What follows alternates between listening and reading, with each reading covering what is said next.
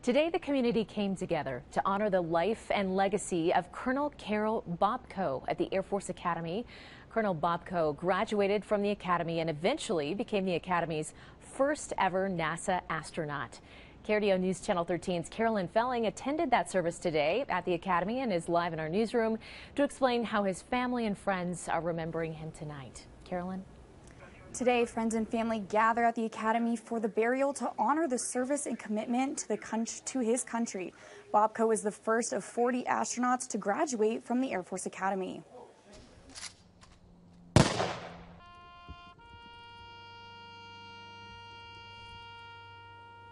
So it was really a, a lifelong friendship.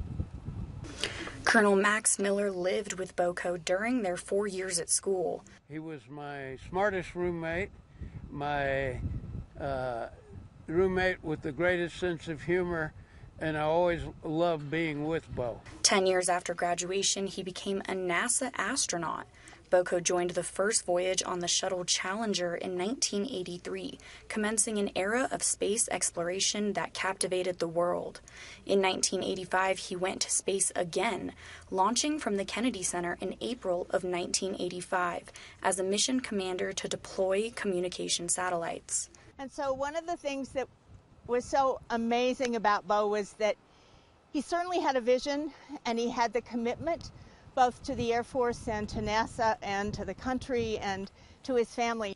Bobko was recognized with three NASA Space Flight Medals, two Exceptional Service Medals, and six Johnson Space Center awards during his career. I guess you could say that most of us thought Bo was going to do, maybe not guess how well he did, but that he was going to do well. He's the only astronaut to have flown on the maiden flight of the two space shuttles outside of his incredible space center. Bobko's sister in law says he was a family man. He and his wife of 62 years raised a son and daughter together.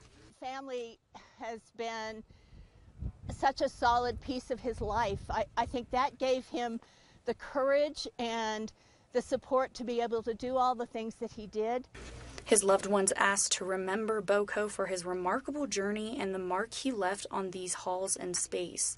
He leaves a legacy to always reach for the stars. He just, he had the vision, he had the intelligence, he had the hard work commitment that, that made his life what it was.